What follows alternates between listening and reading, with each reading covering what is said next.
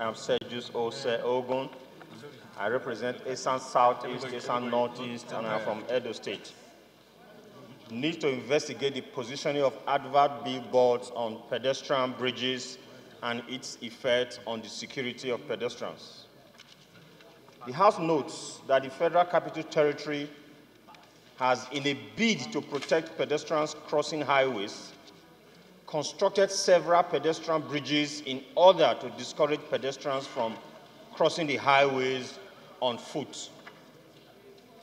The House is informed that the Federal Capital Territory's Department of Outdoor Advertising and Signage, signage installs billboards on those pedestrian bridges to generate income for the Federal Capital Territory.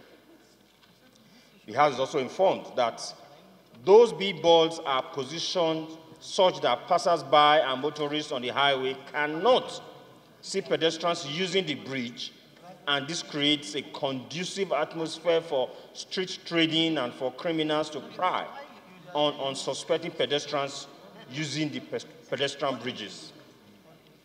The House also notes the media reports that on the 21st February 2017, a student of the University of Abuja was knocked down and killed while trying to flee from robbers who attacked her on the pedestrian bridge close to the university gate.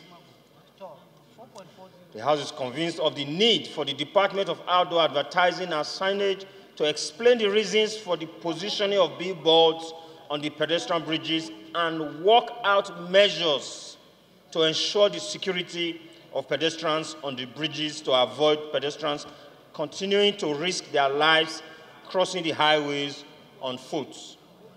The House resolves to one, mandate the Committee on FCT to liaise with the Department of Outdoor Advertising and Signage to come up with alternative ways to position the billboards without risking the security of pedestrians.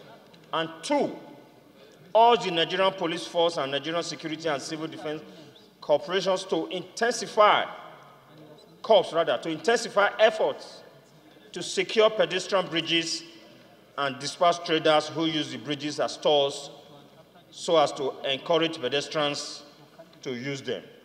Mr. Speaker, my highly esteemed colleagues, I so move. Those in favor of the motion say aye. Those against it say nay.